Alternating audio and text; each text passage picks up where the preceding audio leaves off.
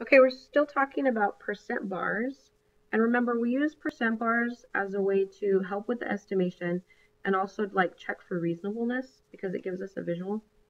Um, Mrs. Romain used the senior citizen discount of 15%, and it's a discount, at Ross Department Store. She purchased two blouses, priced at 15 and $30, and then three pairs of shoes that cost $60 each. Ooh, $60 each. Okay.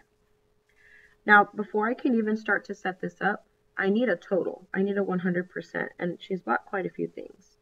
So she has a blouse for 15 and another blouse for 30. That gives me $45. Then it says three pairs of shoes that cost $60 each. So $60 times 3 makes 180. Then I'm going to go ahead and add these together. Okay, 180 and 45. Ooh, $225. Okay, so I guess I'll, I'll keep 225 here. I thought about maybe rounding it to 200, but it might make my answer um, too different. So my 100% or the total cost that I just spent, or this lady just spent, is 225 bucks. Then it's talking about a 15% discount. So there's my 50%, which we don't really need to solve for. We could say, ooh, I want to find for 10%. Why would I want to find 10%? Because it's easy. I could also, after I find 10%, I could figure out what 5% was and add it together to get the 15 if I wanted to. So let's do this. 100 to 10 is dividing by 10. So I would do the same thing here. I would take my 225 and divide by 10. The nice thing is, remember, dividing by 10 just moves my decimal once to the left. So this is $22.50. Okay, that's my 10%. And also, because I'm just rounding, I probably could stop here and say that because this is 10% and I'm looking for 15% off, I would say that my 15% would obviously have to be more than 22.50.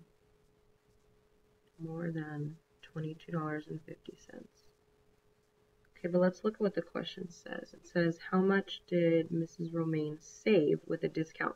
Okay, so they're not asking for how much did she spend. They just want to know what is the discounted amount. So this would be a good estimated answer of I'm going to be saving more than $22.50. Now I can go ahead and start to solve. Remember, the percent bar helps me to set up my proportion. And I'm not looking for 10%. I'm actually looking for 15. So I put that 15 down there. 225 is my total and the amount of that 15% is my unknown. Alright, always looking for shortcuts. Um, these can be divided by 5, so I'm going to go ahead and do that. 5 goes into 100 20 times, and 5 into 15 goes in 3 times. The only reason I simplify that is because I know that if I multiplied 15 times 225, that it would be um, just a little bit too like too big, too big of numbers, and so I might get confused. So making them smaller definitely helps some students. So I'm going to go ahead and cross multiply. 225 times 3 is 15. 6 plus 1 is 7. Uh, 3 and 2 is 6. So 675. And I can write 675 on either side of my equal sign. And then here I have 20x. my job now is to divide by 20. And this is what I've got to work out. So 675, I'm going to do it here. 675 divided by 20, that's 0. That's 3 times, which is 60. Subtract to get 7, bring down that 5.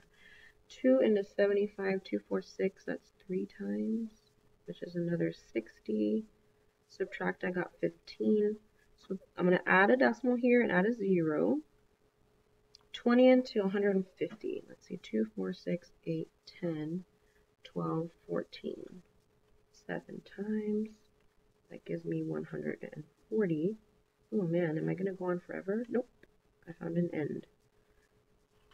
So now 20 into 100, five times. So my discount amount ends up being where $33.75 is equal to X. So is that a reasonable answer? Well, let's compare that to my estimated, and I said it has to be more than 2250.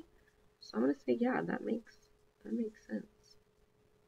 And this is the discount amount.